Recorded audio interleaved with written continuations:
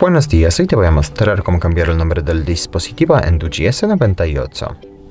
Para eso abrimos la aplicación Ajustes y luego más abajo abrimos la pestaña Información del teléfono, es una de las últimas, y luego pulsamos aquí la primera opción Nombre del dispositivo. Y como ves aquí podemos renombrarlo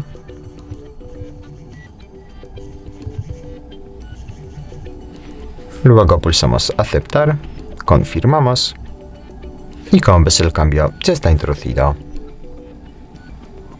Muchas gracias por ver el vídeo, te invito a comentar abajo y suscribirte al canal. Hasta luego.